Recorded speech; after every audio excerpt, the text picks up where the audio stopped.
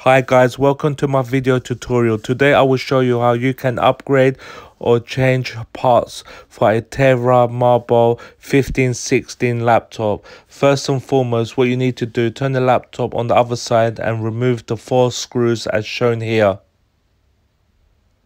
Don't forget, before you start, always remove this battery to prevent static charge.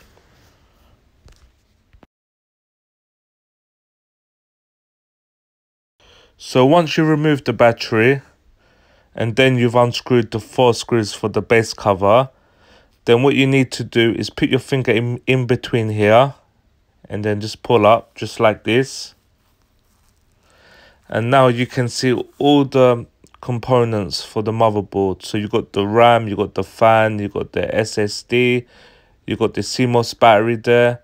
So this is the DD, this is the RAM DDR4, this is the SD module M2. You can put additional hard drive here, uh, 2.5 inch. That's the CMOS battery slash RTC battery.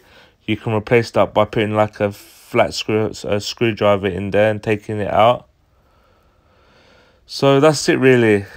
Um, yeah, guys, I'm gonna show you now how to upgrade the RAM.